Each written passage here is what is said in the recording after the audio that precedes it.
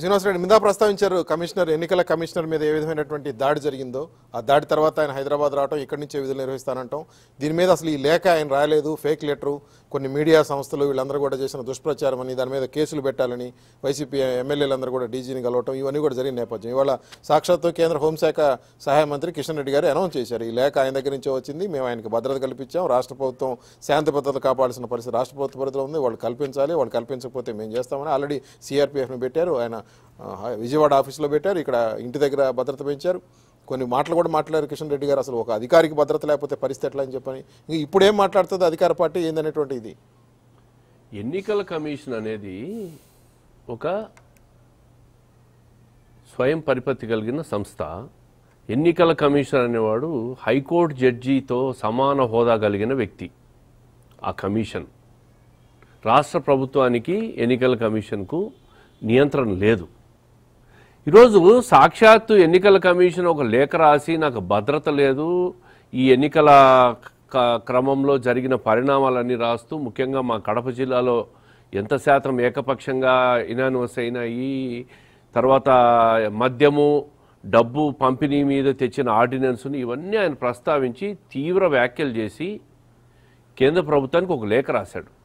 నాకు రక్షణ లేదు నాకు రక్షణ కల్పించండి అని. ఆ లేఖ ఆయన రాసింది కాదు అంటారు వీళ్ళు. అసలు ఆయన ఎవరైనా అడిగారా మీరు రాశారా లేఖ అని చెప్పి? ఆయన ఎవరు అడగలే. ఆయన ఏమన్నా ఆ లేఖ మీడియాలో వచ్చిన తర్వాత పేపర్లో వచ్చిన తర్వాత ఇది నేను రాయలేదని ఆయన ఏమైనా చెప్పాడా? అది లేదు. వీళ్ళంతకు వీళ్ళే అధికార పార్టీ మంత్రులు మంత్రుల స్థాయిలో ఉన్న వ్యక్తులు ఆ ఎన్నికల కమిషన్ లేఖ కాదు అది తప్పుడు లేఖ పోలీస్ కంప్లైంట్ ఇవ్వండి మీడియాను మీద కేసులు పెట్టండి ఇవన్నీ చెప్పి ఇష్టము చెట్లు మాట్లాడుతున్నారు. చివరికి సాక్షాత్ కేంద్ర హోంశాఖ సహాయ మంత్రి కిషన్ రెడ్డి గారు ఆ లేఖ మాకు అందింది అది వాస్తవమే అని చెప్పి ఆయన చెప్పే వరకు కూడా వీళ్ళు నోర్లు మూతపడలే సాక్షాత్ అసెంబ్లీ స్పీకర్ మాట్లాడతాడు ఎన్నికల కమిషన్ గురించి. కనకపు సింహాసనం మీద సునకాన్ని కూర్చోబెట్టినట్టుంది అని. విజయసాయి రెడ్డి గారికి నోటికైతే హద్దే లేదు. ఇష్టం చెట్లు మాట్లాడతాడు ఆయన. అసలు వీళ్ళు ఎందుకు ఎమ్మెల్యేలు అయినారు వీళ్ళు ఎందుకు ఎంపీలు అయినారు ఆయన స్పీకర్ ఎందుకు అయినాడో అర్థం కావడం లే. ప్రజలందరూ కూడా ఈరోజు వీళ్ళకి అర్హత ఉందా అని చెప్పి ఆలోచించుకుంటా ఉన్నారు. హోంమంత్రి కిషన్ రెడ్డి గారు ఈరోజు ఆయనకు రక్షణ లేదు. మేము మాకు మమ్మల్ని అడిగాడు. మేము రక్షణ కల్పిస్తున్నాం. ఏది ఏమైనా ఎన్నికల కమిషన్ బెదిరించడం తప్పని చెప్పి కేంద్రం జోక్యం చేసుకొని మాట్లాడాల్సిన పరిస్థితి వచ్చిందంటే అసలు ఆంధ్రప్రదేశ్కు నాకు నేను ముఖ్యమంత్రిని నాకు సర్వాధికారులు ఉన్నాయి భారత రాజ్యాంగం నాకు వర్తించదు ఇది నాది సపరేట్ రాజ్యాంగం అని చెప్పి ఈ ముఖ్యమంత్రి వ్యవహరిస్తా ఉన్నాడు ఈరోజు. ఇది సపరేట్ దేశంగా ప్రకటించుకుంటానేనని కూడా అన్నీ ఆశ్చర్యం లేదు. సాక్షాత్ హైకోర్టులో జడ్జిలు కూడా రేపు మాకు రక్షణ లేదు అనే పరిస్థితి తీసుకొస్తుందేమో ఈ ప్రభుత్వం అనే విధంగా ఈ ప్రభుత్వం ముందుకు పోతా ఉంది. హైకోర్టు జడ్జిలు కూడా రేపు వ్యాఖ్యలు చేయొచ్చు. ఈ ప్రభుత్వానికి ఏదైనా వ్యతిరేకంగా వ్యాఖ్య చేస్తే అది కోర్టు చూసుకుంటుందండి.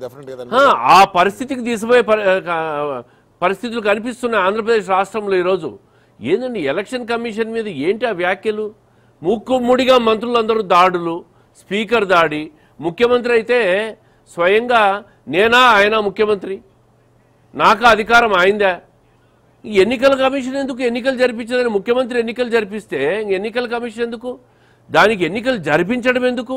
నీ దగ్గర నువ్వు ముఖ్యమంత్రివి నీకు సర్వాధికారాలు ఉన్నాయి ఎంపీటీసీ జెడ్పీటీసీలను కౌన్సిలర్లను కార్పొరేటర్లను అందరినీ కూడా నువ్వు ఒక ఆర్డినెన్స్ ఇచ్చేసి ఒక జీవో ఇచ్చేసి నామినేట్ చేసే రాష్ట్రం అంతా. ఎన్నికల ఎన్నికల ఖర్చు తగ్గుతుంది. టైం సేవ్ అవుతుంది. నీకు నిధులు రావనుకుంటున్నావు నిధులు తెచ్చుకో పరిపాలన చేయి. నువ్వు సపరేట్ రాజ్యాంగం నీ దగ్గర ఉంటే. ఏంటి ఎన్నికల కమిషన్ విధుల్లోకి వీళ్ళు జోక్యం చేసుకోవడం ఏంటి? వీళ్ళు వ్యాఖ్యలు చేయడం ఏంటి? ఆయన చివరకు నాకు రక్షణ లేదని మాట్లాడడం ఏంది? అసలు ఏ పరిస్థితికి ఆంధ్రప్రదేశ్ ప్రభుత్వం తీసుకుపోతా ఉంది? పరిపాలన చేయవయ్యా అంటే అనవసరమైన విషయాల మీద ఇప్పుడే మన శ్రీరామ్ గారు చెప్పినట్టు అనవసరమైన విషయాల మీద దృష్టి పెట్టి ఇప్పటికే పది నెలల కాలం అంతా పోయింది. ఒక్క రూపాయి అభివృద్ధి కార్యక్రమం లేదు. రాబోయే పరిస్థితులు చూస్తే దారుణంగా కనిపిస్తున్నాయి. ప్రపంచమంతా కూడా ఇప్పుడు కరోనా పరిస్థితుల్లో ప్రమాదకరమైన పరిస్థితుల్లో ఉంటే నాకు ఎన్నికలు ఎన్నికలు జరిపించండి అంటాడు ఈయన. ఎన్నికలు అన్ని రాష్ట్రాలు కూడా వాయిదాలు. ఎన్నికలు జరిపించలేదనే దాని మీదే కదా కమిషన్ మీద ఈ స్థాయిలో విమర్శ చేసింది. ఒకవేళ ఇందాక నేను నిన్న ప్రస్తావించాను ఇందా లక్ష్మణ్ గారు ప్రస్తావించాను ఒకవేళ గనక జగన్మోహన్ రెడ్డి గారి ఒత్తిడికి కమిషనర్ గారు తలొగ్గో లేకపోతే ఏదో అనుకొని ఆయనే ముఖ్యమంత్రిని ఎన్నికలు పెట్టుంటే ఏంటి పరిస్థితి అనేది? ఇరవై ఒకటి ఇరవై మూడు పోలింగ్ మధ్యలో కర్ఫ్యూ. మధ్యలో కరోనా వచ్చింది. ఊహించలేములేండి ఆ పరిస్థితి. చివరికి ఆయన కులాన్ని కూడా తీసుకొచ్చి స్వయంగా ముఖ్యమంత్రి మాట్లాడతాడు.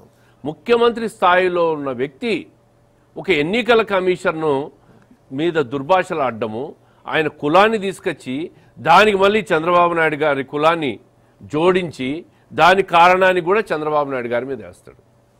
ఏం మాట్లాడుతున్నారండి వీళ్ళు? వీళ్ళు అసలు ఒక విఘ్నత ఉందా?